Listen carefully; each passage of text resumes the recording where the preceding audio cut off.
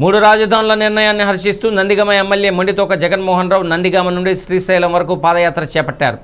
అశేష ప్రజానికం మద్దతుతో యాత్ర విజయవంతంగా సాగుతుంది. పెద్దారవీడు మండలం హనుమాన్ జంక్షన్ కుంటలో వైసీపీ నాయకులు పెద్ద ఎత్తున పాల్గొని మద్దతు తెలిపారు. అనంతరం వైఎస్ఆర్ విగ్రహానికి పూలమాలలు వేసి ఘన నివాళులు అర్పించారు.